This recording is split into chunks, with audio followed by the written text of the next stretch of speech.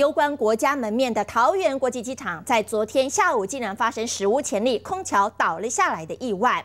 空桥倒塌的第二航厦 D 六登机门，在今天已经是禁止停靠飞机了。那么韩国的原厂技师现在也已经来到台湾来做进一步的检修。但是到底为什么会发生这样子空桥倒下来的意外呢？报告还需要等待进一步出炉。用支架将断裂空桥撑起，几位韩国原厂技师拿着相机拍照鉴定。明明是二零零五年才启用的第六登机门空桥，竟然无预警断裂垮下，让几位专业技师也看傻了眼。一桥它是没有使用的，所以 SQ 它是停二桥。结果没想到在下课的当中，桥就砰就这样的。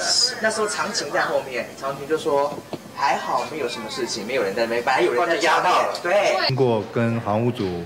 维护厂商跟航我们本身航务组报修，呃，已经就是停用停用了，所以呃，这个桥是没有没有旅客没有在使用的空桥。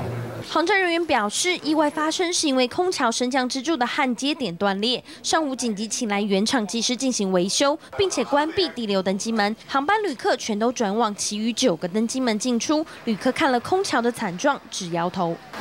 太离谱了啦，这种东西哎，在。尤其是那个有没有国际机场？觉得台湾的那个安全没有做做好，安全上面都没做好。因为因为就是现在会发生问题，应该是之前就已经有一些问题。